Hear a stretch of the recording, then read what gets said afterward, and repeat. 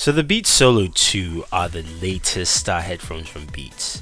Now, some people call them Studio Minis because of the look and that studio feel, uh, but these are new headphones that uh, fit the Beat Monkian style. Priced at $199, it's a sub $200 headphones, and you've got uh, the similar Beat styling with the plastic uh, build all around very shiny. This is actually the glossy gray. It's got detachable um, um, mic port as you can see here um, with the Beats logo on each side there. Now this has an inline mic uh, with uh, iOS controls so you can actually control your iOS devices and the call quality from that is actually pretty good. Fairly extensive cable in terms of length uh, altogether. Uh, now uh, we also do have a soft carry case here that uh, Beats provides. The Beats logo, very nice and simple. You can easily tuck your headphones in there, just fold them up. as you can see, they're they're quite retractable and slide them into the case and you're on your way which is nice and which is very very good uh, the other aspect to these headphones are also just some of the comfort and styling uh, you can see the air cups do tilt and, and they have soft padding around uh, which should give you a comfortable feel and I say should I stress that top headband also has uh, soft padding there um, altogether so you get a very good general idea of how it feels. Now that glossy plastic uh, coating is very standard with Beats and you know the Beats logo on the very top.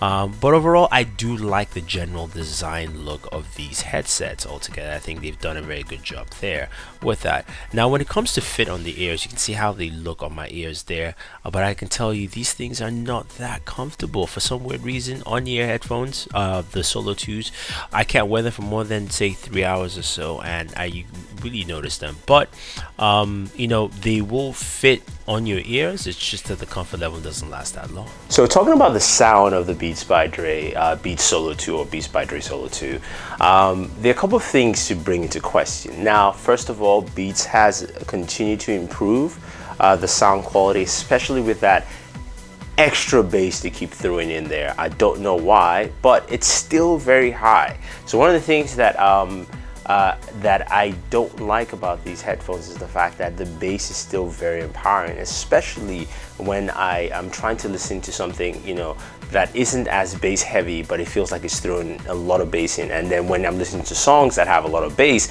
it just feels like the EQs are totally cranked up, which is something I don't like. Now, on the on the good side though the the highs the lows they really they really hit off pretty well and you get a very good a good range with the highs and lows. So especially in your acoustics when you're listening and you want to hear the vocals you get that part very well. But the problem is because of the overpowering bass you can't hear anything else. So basically your mids are gone your trebles are gone. Not necessarily gone but you really can't hear them. So you can't hear those different instruments left and right uh, that you get with normal headphones. Now the other good plus too with this is the the uh, the microphone here. So the call stream mics works very well. Of course, uh, this has the um, um, i um, iDevice uh, tuning, so it works well with iDevices. But in terms of just answering phone calls and taking calls, it does it, they do actually do a good job there. So I do like that aspect of it. You do have the carrying case here, which is nice, soft. Uh, I do I like that inclusion.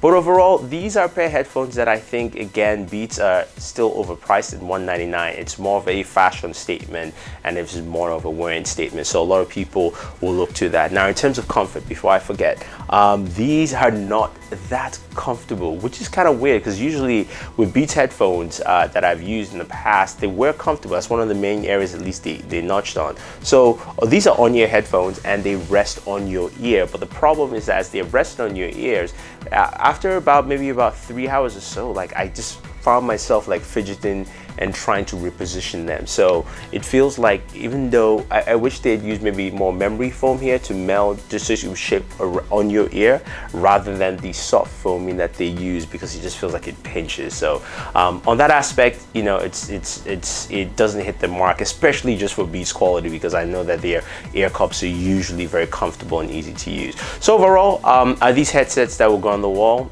No.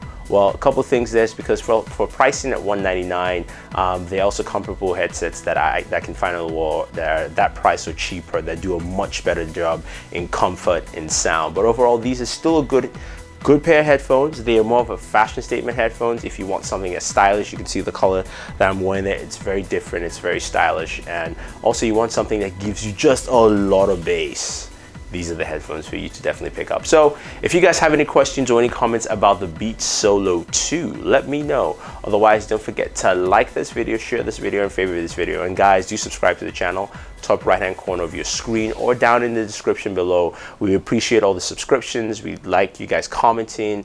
And this is Thunder E saying thank you and always enjoy your entertainment.